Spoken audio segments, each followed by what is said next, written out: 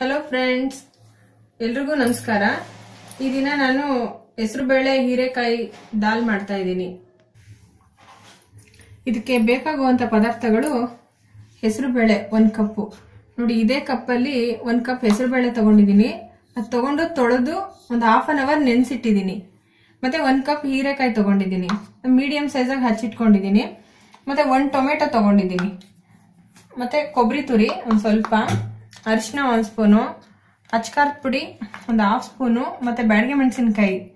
ಇದು ಲಾಸ್ಟಲ್ಲಿ ಸ್ವಲ್ಪ ಡೆಕೋರೇಷನ್ಗೆ ಜೀರಿಗೆ ಒಂದು ಹಾಫ್ ಸ್ಪೂನು, ಸಾಸಿವೆ ಒಂದು ಸ್ಪೂನು, ಕೊತ್ತಂಬರಿ ಸೊಪ್ಪು, ಉಪ್ಪು ರುಚಿಗೆ ತಕ್ಕಷ್ಟು, ಒಗ್ಗರಣೆಗೆಲ್ಲ ಈರುಳ್ಳಿ, ಹಸಿ ಮೆಣಸಿನ್ಕಾಯಿ ಎರಡು ತಗೊಂಡಿದ್ದೀನಿ ನಿಮ್ಮ ಖಾರ ಇನ್ನೂ ಸ್ವಲ್ಪ ಬೇಕು ಅಂತಂದ್ರೆ ಇನ್ನೂ ಒಂದು ಎರಡು ಎಕ್ಸ್ಟ್ರಾ ತಗೋಬೋದು. ನಾನು ಮೀಡಿಯಮ್ ಆಗಿ ಇರಲಿ ಅಂತ ಎರಡು ತೊಗೊಂಡಿದ್ದೀನಿ ಕರ್ಬೇವಿನ ಸೊಪ್ಪು, ಮತ್ತು ಇಂಗು, ಎರಡು ದೊಡ್ಡ, ದೊಡ್ಡದೇ ಇರೋದು ಬೆಳ್ಳುಳ್ಳಿ ಜಜ್ಜಿಟ್ಕೊಂಡಿದ್ದೀನಿ ಮತ್ತು ತುಪ್ಪ, ಒಗ್ಗರಣೆಗೆ.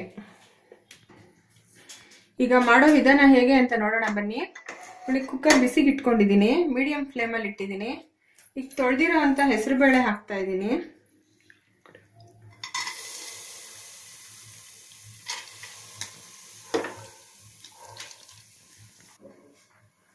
ಈಗ ಒಂದು ಕಪ್ ಹೀರೆಕಾಯಿ ಹಾಕ್ತಾ ಇದ್ದೀನಿ. ಮತ್ತೆ ಒಂದು ದೊಡ್ಡ ಗ್ಲಾಸ್ ನೀರು ಹಾಕ್ತಾ ಇದ್ದೀನಿ. ಈಗ ಇದಕ್ಕೆ ಅರಿಶಿನ ಹಾಕ್ತಾ ಇದ್ದೀನಿ. ಮತ್ತೆ ಒಂದು ಎರಡು ಟೇಬಲ್ ಸ್ಪೂನ್ ತುಪ್ಪ ಹಾಕ್ತಾ ಇದ್ದೀನಿ. ಅದು ಹೆಸರು ಬೇಳೆ ಸ್ವಲ್ಪ ಚೆನ್ನಾಗಿ ಬೇಯೋದಕ್ಕೆ. ಆಲ್ರೆಡಿ ಮೊದಲೇ ನೆನೆಸಿರೋದ್ರಿಂದ ಚೆನ್ನಾಗಿ ಬೇಯುತ್ತೆ. ಈಗ ಮುಚ್ಚಿಡ್ತಾ ಇದ್ದೀನಿ. ಇದು ತುಂಬಾ ಈಸಿ ಈಸಿಯಾಗಿ ಆಗ್ಬಿಡುತ್ತೆ. ತುಂಬ ತುಂಬಾ ರುಚಿಯಾಗೂ ಇರುತ್ತೆ. ಬೇಗ ಮಾಡ್ಕೋಬೋದು.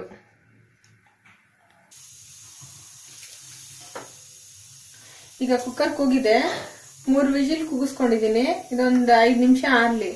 ಅಷ್ಟೊತ್ತಿಗೆ ನಾವು ಒಗ್ಗರಣೆ ಮಾಡ್ಕೊಳ್ಳೋಣ. ಈಗ ಒಂದು ಬಾಣಲೆ ಇಟ್ಟಿದ್ದೀನಿ. ಇದು ಸ್ವಲ್ಪ ಮೀಡಿಯಂ ಫ್ಲೇಮಲ್ಲೇ ಮಾಡಬೇಕು. ಒಂದು ಎರಡು ಟೇಬಲ್ ಸ್ಪೂನ್ ತುಪ್ಪ ಹಾಕ್ತಾ ಇದ್ದೀನಿ.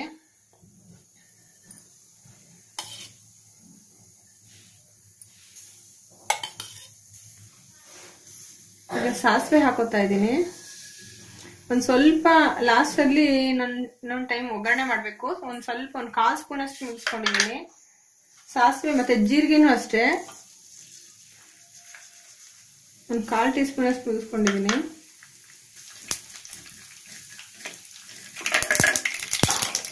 ಈಗ ಸಾಸಿವೆ ಸಿಡಿತಾ ಇದೆ. ಬೆಳ್ಳುಳ್ಳಿ ಹಾಕೋತಾ ಇದ್ದೀನಿ. ಸ್ವಲ್ಪ ಫ್ರೈ ಆಗಬೇಕು ಬೆಳ್ಳುಳ್ಳಿ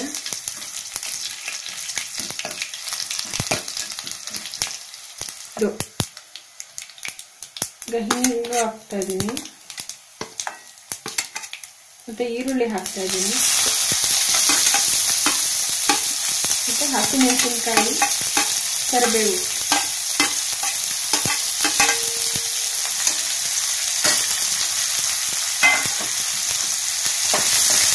ಸ್ವಲ್ಪ ಫ್ರೈ ಆಗಬೇಕು. ಹೆಸರುಬೇಳೆ ತುಂಬಾ ತಂಪಾಗಿರೋದ್ರಿಂದ ದೇಹಕ್ಕೆ ತುಂಬಾನೇ ಒಳ್ಳೇದು.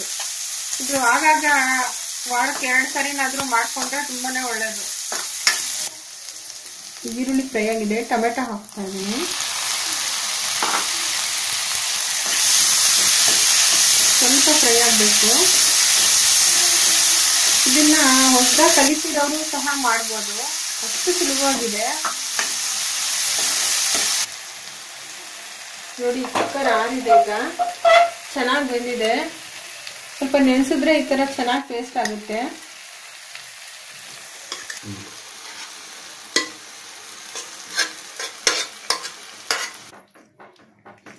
ನೋಡಿ, ಸ್ವಲ್ಪ ತಿರುಕೊಡ್ತಾ ಇದ್ದೀನಿ ಈಗ.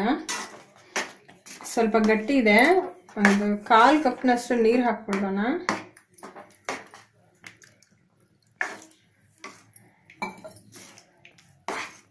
ಇದು ನೋಡಿ ನಾನು ಈಗ ಮಾಡ್ತಾ ಇರೋ ದಾಲು ಚಪಾತಿಗೆ, ರೋಟಿಗೆ, ಪೂರಿಗೆ ಚೆನ್ನಾಗಿರುತ್ತೆ. ಅದಕ್ಕೆ ಈ ಕನ್ಸಿಸ್ಟೆನ್ಸಿ ಇರ್ಬೇಕು ನೋಡಿ ಇಷ್ಟು. ಇದನ್ ಸ್ವಲ್ಪ ಕೂಲ್ ಆದ್ಮೇಲೆ ಸ್ವಲ್ಪ ಗಟ್ಟಿ ಬರುತ್ತೆ. ಈ ಕನ್ಸಿಸ್ಟೆನ್ಸಿ ಇದ್ರೆ ಸಾಕು. ನಿಮ್ಗೆ ಅನ್ನಕ್ಕೆ ಏನಾದರೂ ಹಾಕೋಬೇಕು ಅಂತಂದಾಗ ಸ್ವಲ್ಪ ಬಿಸಿನೀರು ಕಾಯಿಸಿ ಹಾಕಿದ್ರೆ ಇನ್ನೊಂದು ಹಾಫ್ ಕಪ್ ಹಾಕಿದ್ರೆ ಸ್ವಲ್ಪ ನೀರು ಹಂಗಿರುತ್ತೆ. ಅನ್ನಕ್ಕೂ ಅನ್ನಕ್ಕೂ ಸಹ ಯೂಸ್ ಮಾಡ್ಬೋದು. ಈಗ ರುಚಿಗೆ ತಕ್ಕಷ್ಟು ಉಪ್ಪು ಹಾಕ್ಕೊಳ್ಳೋಣ ಒಂದು ಮುಕ್ಕಾಲು ಟೀ ಸ್ಪೂನ್ ಹಾಕ್ಕೊಂಡಿದ್ದೀನಿ ನಾನು. ಇದಕ್ಕೆ ಕಡಿಮೆ ಉಪ್ಪೇ ಹಿಡಿಯುತ್ತೆ. ಜಾಸ್ತಿ ಹಿಡಿಯಲ್ಲ. ನೋಡಿ, ಸ್ವಲ್ಪ ಕುದಿ ಬರ್ತಾ ಇದೆ. ಕುದಿ ಬಂದ ತಕ್ಷಣ ಇದು ಸ್ವಲ್ಪ ಕಾಯಿ ತುರಿ ಹಾಕ್ಕೊಳ್ಳೋಣ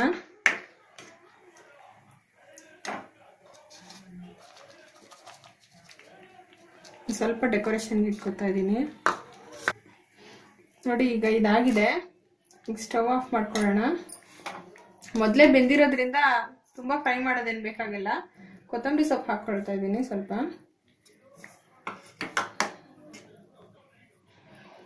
ಈಗ ಇದನ್ನು ಕಪ್ಪಿಗೆ ಹಾಕ್ಕೊಳ್ಳೋಣ.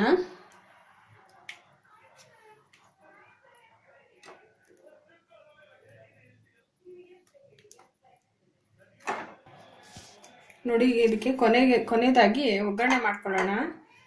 ಗಾರ್ನಿಷಿಂಗೋಸ್ಕರ ಮತ್ತು ಟೇಸ್ಟು ಚೆನ್ನಾಗಿರುತ್ತೆ. ಒಂದು ಸ್ಪೂನ್ ತುಪ್ಪ ಹಾಕಿದ್ದೀನಿ. ಆಗಲೇ ನಾನು ಉಳಿಸಿಟ್ಕೊಂಡಿದ್ನಲ್ಲ ಸಾಸಿವೆ ಹಾಕ್ತಾ ಇದ್ದೀನಿ. ಮತ್ತು ಜೀರಿಗೆ, ಇಷ್ಟೇ ಹಾಕ್ತಾ ಇದ್ದೀನಿ, ಇಷ್ಟೇ ಸಾಕಾಗುತ್ತೆ. ಮೊದಲೇ ಹಾಕಿರೋದ್ರಿಂದ ಇಷ್ಟೇ ಸಾಕು. ಸಾಸಿವೆ ಸಿಡಿತಾ ಇದೆ. ಮೆಣಸಿನ್ಕಾಯಿ ಹಾಕೋತಾ ಇದ್ದೀನಿ.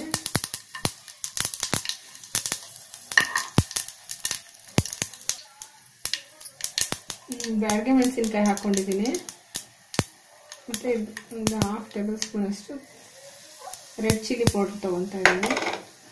ಸ್ಟವ್ ಆಫ್ ಮಾಡ್ಕೊಳ್ಳೋಣ. ಇಷ್ಟಾದರೆ ಸಾಕು. ನೋಡಿ, ಇದ್ರ ಮೇಲೆ ಹಾಕೋತಾ ಇದ್ದೀನಿ.